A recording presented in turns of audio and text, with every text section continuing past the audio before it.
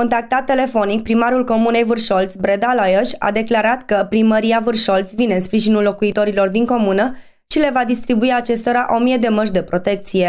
Conducerea primăriei comunei Vârșolț, împreună cu consilierii locali, în data de 9 10 aprilie, distribuie 1000 de măști cetățenilor din localitățile Vârșolț, Recea, Recea Mică.